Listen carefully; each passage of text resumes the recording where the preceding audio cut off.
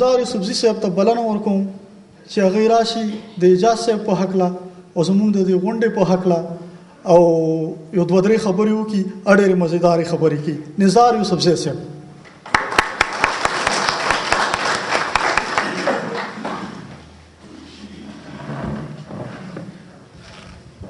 ډیرو عزتمندو قدرمندو مشرانو نرانو پښتنو ستړي مشي په خیر علي هر کله راشي د ټولو ناول خو زه د پاکستان اسوسییشن دوبای څنګه دړه د تلنا شکریا ادا کوم مننه کوم چې شکر دې چې پښتنو او د پښتنو د لیدوم رلوي اتل په درناوي کې او د دغه کتاب د مخکتنې را دستورې دل تر جوړ کړه اعجاز صاحب زه په 1983 کې دوبۍ ته رالم چې رالم په خپل کور کې په خپل اجره کې د خپل مشرانو نه مې د پښتو او د پښتونولۍ مینه زده کړې وه چې رالم په دغه مینانو پسې ګرځېدم په هغه وخت کې را دوره تنظیمونه او دا دومره خلک نه وو صرف اعجاز صاحب وو او د ده څو ملګري وو چې هغو حالات هم داسې نه وو چې د پښتو او د پښتونولۍ شمع یې دلته ژوندی ساتلې وه حالات که هر څنګه وو خو په کال کې دوه درې څلور مشاعرې به یې خامخا کولې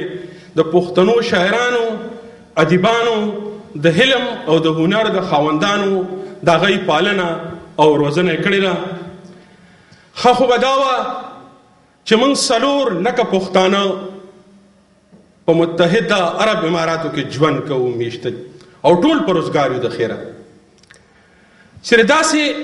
انسان د کتاب مخ کتنه وي دا هم ډیر درنه غونډه ده ټول پکې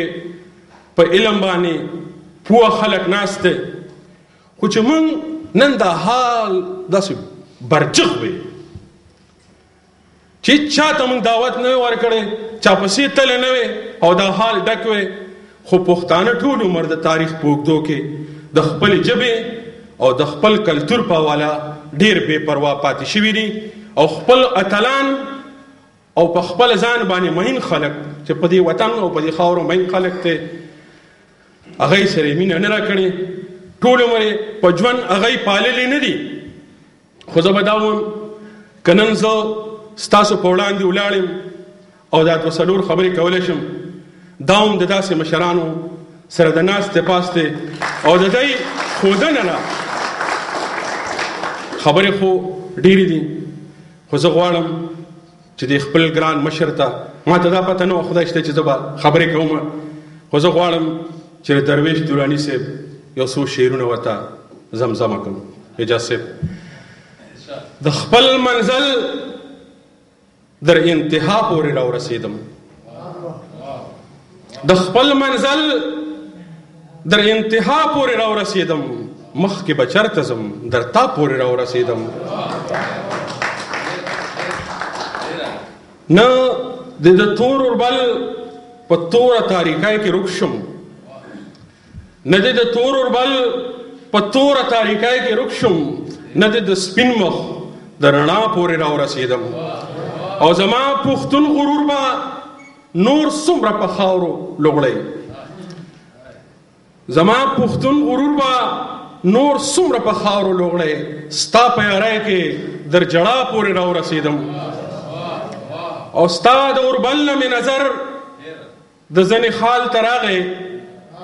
ستا د اوربل نه مې نظر د زنې خال ته راغې زه د بلا نه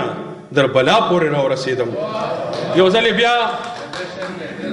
ستا د اوربل نه مې نظر د زنې خال ته راغې زه د بلا نه در بلا پورې راورسېدم یو ځل بیا د اماراتو پښتو ادبي ټولنې ده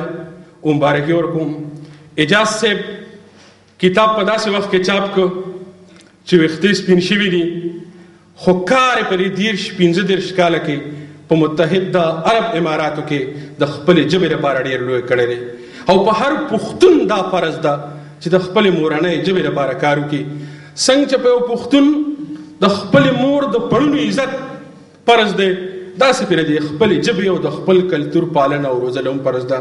دې خبرو سره زه اجازه غواړم ډیره مننه د خدای په امان